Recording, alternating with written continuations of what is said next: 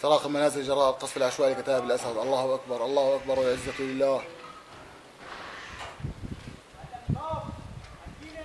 لا إله إلا الله والعزة لله.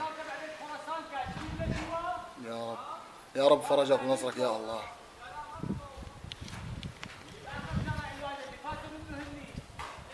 انظروا ماذا حل بهذا المسجد.